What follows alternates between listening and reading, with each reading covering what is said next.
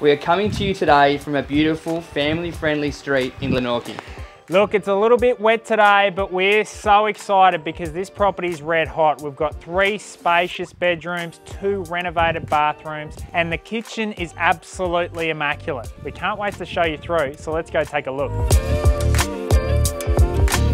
Some of the incredible features of this property is the spacious and sun-filled main living zone, the kitchen that's perfect for entertaining, and what I think I love most, the huge storage options and secure backyard, which is perfect for those with family or pets.